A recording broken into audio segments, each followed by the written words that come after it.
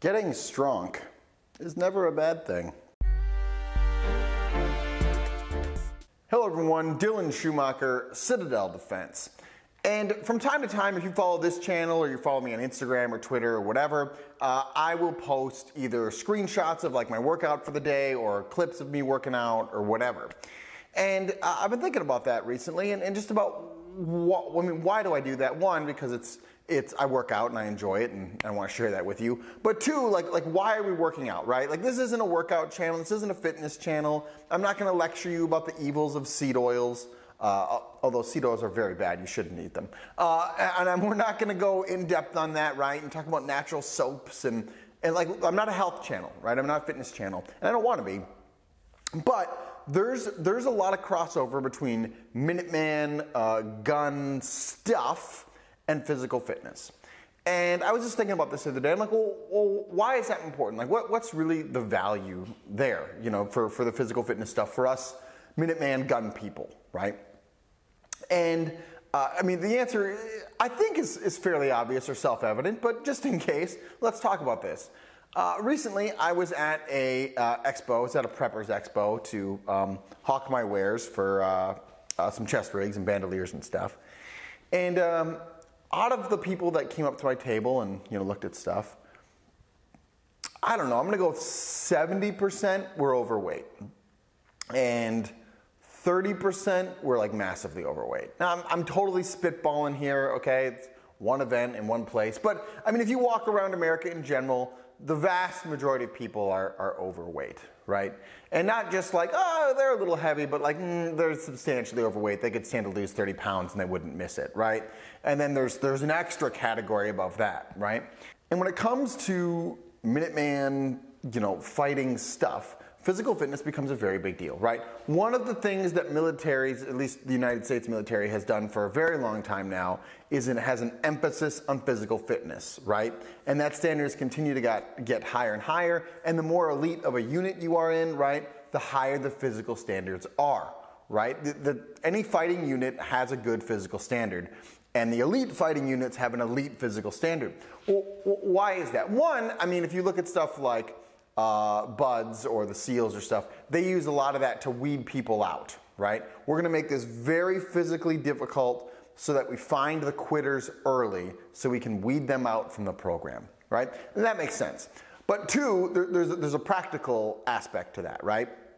The practical aspect is uh, fighting um, is physically exhausting and has been since time immemorial, right? Since we left the garden and we've started fighting wars, fighting is physically exhausting right? Ask an MMA fighter, ask a boxer, ask a wrestler, ask a jiu-jitsu practitioner, ask a soldier, ask anybody who's done any kind of fighting for any kind of length of time, and they'll tell you fighting is exhausting, right? It just it just is. It's the nature of the beast.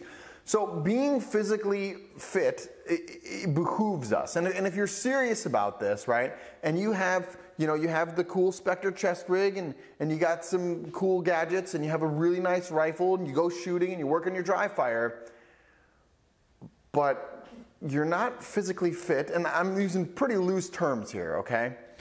Well, that's, that's a problem. Okay, that's a problem.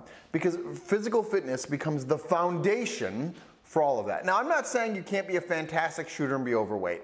There are lots of very fantastic shooters that can shoot much better than I am that I've taken classes with that are overweight. Okay, and I think, ah, you know, you're probably your physical fitness isn't up to par, but you're a very good shooter, and I can learn something from you here. And I'm glad you're on my team, right? Like, that's absolutely 1000% a thing. I'm not saying you can't be good at shooting and not be physically fit. What I am saying is that physical fitness provides the foundation for all Minuteman oriented soldiering, whatever term you want to use here, stuff, right? Again, ask anybody who's uh, done any of the fighting stuff, they're going to tell you, yeah, that's pretty important, right? Uh, it, it's also why you have a natural disdain when you see out of shape, overweight police officers, right? You see them and they're out of, out of shape and overweight or whatever, and you think, I can take this guy, right? You're not intimidated, you're not fearful, and you have immediate disdain. Why? Because you inherently connect fighting and fitness and you know you know those go together inherently in your brain right so i would ask you to take a look at yourself take a look at your own life now listen listen this, this, this can be an endless road to perfection all right and i'm not here to do that Uh, you know, if you want to say, well, Dylan, you're fat, that, that you're the problem, and then okay, you know, we can we can talk about that. But my point is, you have to have that foundation level of physical fitness. If you can't put your kit on and go walk through the woods for a couple of miles without feeling completely gassed at the end of it, that's a problem, right? If you're not if you're not regularly doing something, I heard once uh, the bill for being fit is due every day. And I really like that phrase. I think that's really, really good. Uh, so, my point is if you're not physically active and you're not doing something to put in that work, to really push yourself past your limits, either you know with what your deadlift is, or your bench press, or like your VO2 max, and you're just hitting that assault bike, or you're running around the block, or whatever. If you're not doing something, that's a problem. And I would say, hey, do something, right? On any given day, in my in my head for Minuteman preparedness stuff, there are three categories I like to hit right? Fitness, dry fire, Bible reading. If I can get all three of those in a day, man, that's winning. I'm, I'm doing really well. Not often can I do that, let's be honest, right? There's just time and there's work and there's family and there's whatever. Like, not often can I do that.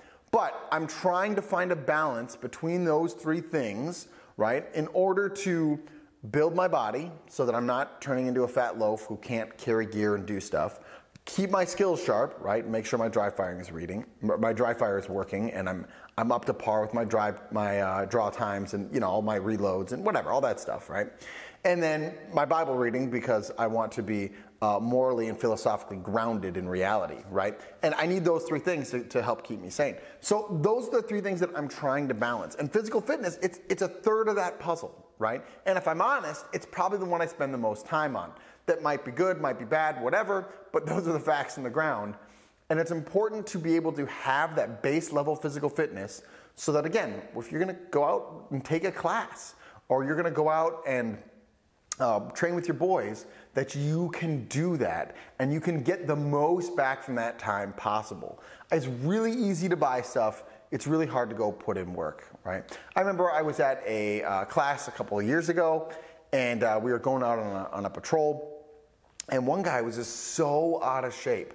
I mean, we probably got like 200 yards out, maybe 400 yards out, and he just quit. He just turned back and said, "Oh, I, I can't, I can't do this." Super overweight guy, you know, probably had other physical issues in part because of his being overweight, right? But I just thought, man, here you are at this like three-day class, and you can't, you can't even make it 400 yards. Like you've wasted your time and your money, right? Because you didn't invest in yourself earlier to prepare yourself for where you're at now. And I don't want that to be you. I don't want that to be you where you're not you're not making those preparations, right? So we can talk about about prepping and and you know buying all the right stuff and the gear and the foods and the bags and whatever, or buying all the good ammo and making sure your rifle's zeroed and making sure that draw time is smooth and et cetera, et cetera. But if you don't have that base level of physical fitness, it's going to be harder. Now, again, what exactly is that? What does that mean? I'm going to leave that up to you somewhat. you you know, you know. If you know that you're like, yeah, all right, well, okay, I guess I could lose 30 pounds. I wouldn't even notice. Like, I, well, I'd notice because I feel better, but I wouldn't. It wouldn't like, you know, be a bad thing. Well, then, then, then you know, right? And if you're like, well, no, I mean, you know, I, I'm adequately this, and my numbers are up on my lifts here, and my running times are down here, or whatever. Well, well, then you know, okay. Build that base level of physical fitness it's the foundation on which we're laying our dry fire and our skills and our knowledge and our ability to do stuff in this whole Minuteman world. This is probably a longer sermon than is needed. However, uh, I think it's really, really, really important. Uh, not only that, it's, it's just going to improve the general quality of your life uh, for everything else. You know what I mean? Being able to uh, move a couch is a lot easier when you're strong. Okay? So, I hope that gives you something to think about and you're like, oh yeah, that, that is important. I'm going to make that a priority. The only way it's going to happen is if you make it a priority because it just takes time. It doesn't take a lot of time. You know, maybe a half hour, five days a week, maybe an hour, five days a week, something like that. Uh, it doesn't take a ton, but it does take time and investment, and effort and work. Put it in. You're going to get the payoff, and you're to be glad you did. Do brave deeds and endure.